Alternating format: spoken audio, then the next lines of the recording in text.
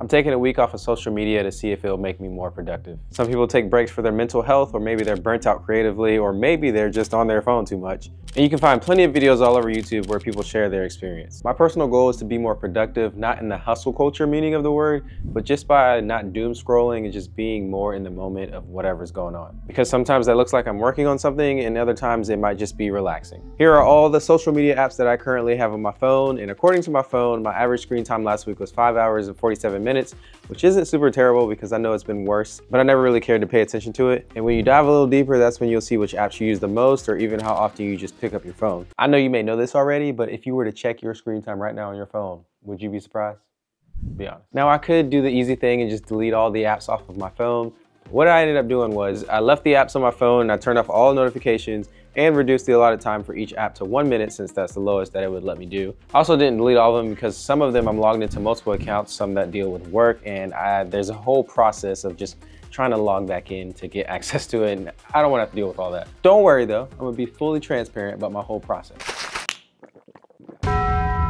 So interesting enough, last night the SIM card in my phone just stopped working for some reason, so I didn't have any cellular service. This obviously helped, but it was kind of bad because like Abigail, would, if she needed to contact me, there was no way to do it unless I was connected to Wi-Fi. I will say the best part about that, I was I was just kind of forced to just be in the moment with whatever I was doing or wherever I was, and I was able to just focus on what was going on because I couldn't really do anything else.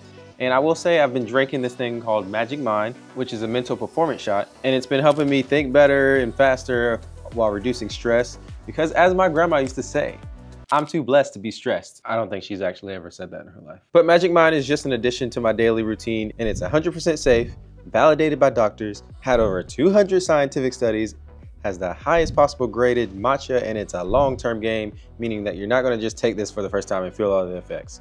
It's gonna take some time. Magic Mind actually sent me some shots beforehand, so I was drinking this a couple days before this challenge even started. I personally want to be as focused as possible, so if you want to go try it for yourself, go to magicmind.com backslash Relly or click the link in the description and try it for yourself. What's interesting is that even though I had Magic Mind keeping me focused and my phone's like sort of working, I still, out of pure muscle memory, I intended to check my email and I opened up, I think it was Instagram, so to prevent that from happening again, I removed all the apps from my home screen because for some reason I didn't think that would happen.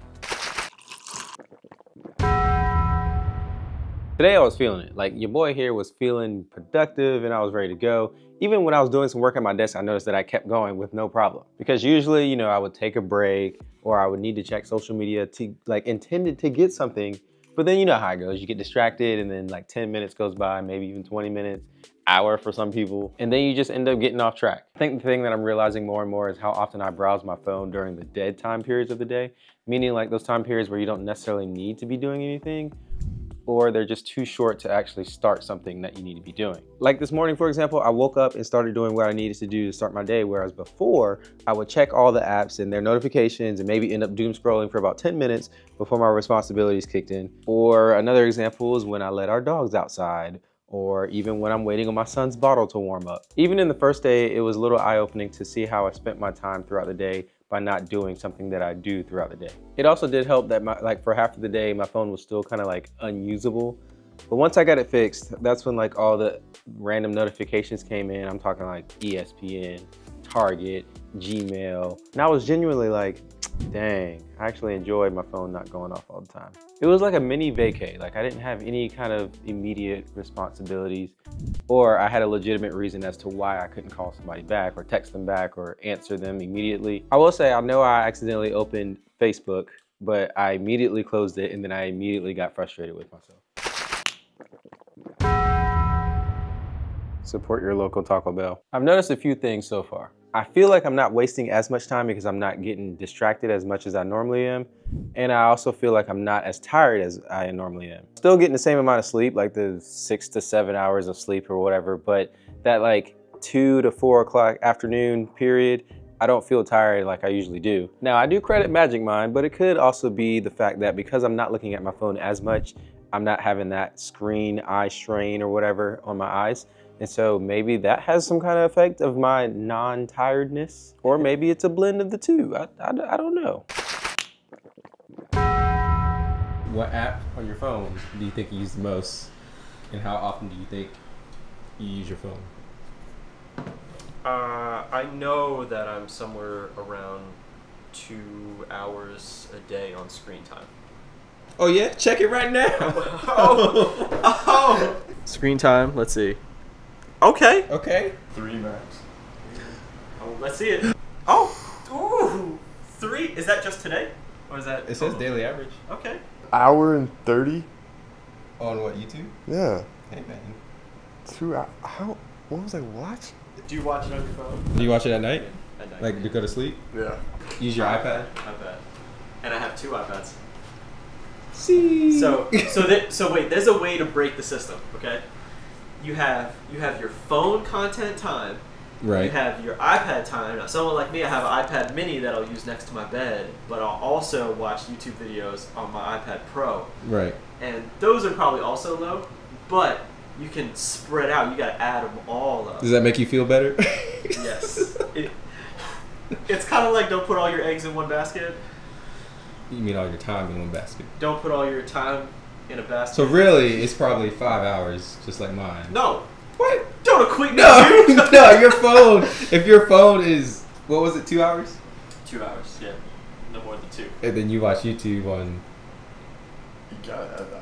But is YouTube considered social media? That's Oh, a whole gosh. nother video. That's a whole That's a whole other- My day job involves me working with cameras and such, and so we were talking about like where do you draw the line with social media and YouTube, because we have cases where we need to look at a video to figure out how to use a piece of equipment or how to do this or that, or if we are considering buying something, we need to research that thing. So what we decided was that as long as you're not watching for entertainment purposes and reading or responding to comments, then you're good. Because we all know how easy it is to go down the YouTube rabbit hole. I mean, what do you think though? You can apply the same concept to Instagram and TikTok, but it's not the same in my opinion. Does YouTube count as social media just as much as the others? I mean, either way, YouTube and YouTube Studio are two of the apps that I've been avoiding. So I, I don't know. I really need to go get my hair done.